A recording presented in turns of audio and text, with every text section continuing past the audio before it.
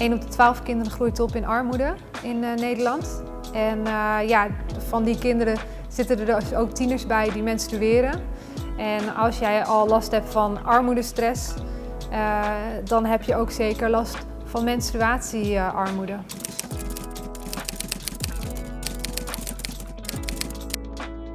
Nou, er is heel veel schaamte op dit gebied, dus aanvragen uh, wordt vaak niet door kinderen zelf gedaan. Het is al een hele puzzel om er überhaupt achter te komen dat dit probleem speelt. Het heeft gewoon heel veel impact op, op het gehele leven van zo'n tiener, op allerlei vlak, vlakken. je, hebt, je, hebt, het gevoel dat je gewoon niet helemaal mee kan doen met, met allerlei verschillende dingen niet. Hè? Met, met, met, met school, met, met werk, met, met sport, met je, in je sociale leven.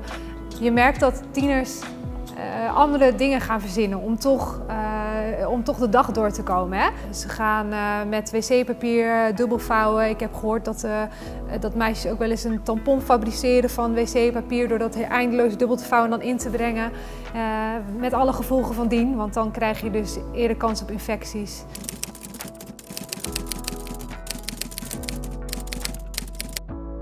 Wat ik tieners aanraad die te maken hebben met menstruatiearmoede is uh, er vooral toch over te praten.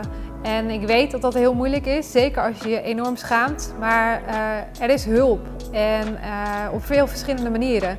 En samen kan je op zoek gaan naar die hulp. Dan hoef je het niet meer alleen te doen. Want je kan je zo alleen voelen als je met dit probleem zit. En, en dat is iets ja, wat de stress alleen maar doet vergroten. Ehm, dus praat erover, zoek samen naar hulp. En dat kan ook via een appje naar iemand die je vertrouwt. Het hoeft helemaal niet een heel groot en spannend gesprek te zijn. Uh, maar zoek hulp en uh, ja, wie weet zit er bij jou om de hoek wel een menstruatiekastje waar je, waar je af en toe eens wat uit kunt halen.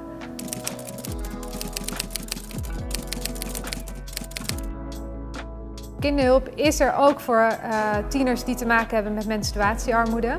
Wij leveren menstruatie halfjaarpakketten. Dat maandverband krijgen wij gedoneerd van Always. Daar zijn wij super blij mee, want wij merken dat de vraag enorm is. Er zijn gewoon heel veel uh, tieners die, die staan te springen om zo'n pakket. Zodat ze weer even een halfjaartje vooruit kunnen en even geen zorgen hebben. Maar er is ook gebleken dat, uh, dat meiden soms iets anders dan maandverband uh, nodig hebben.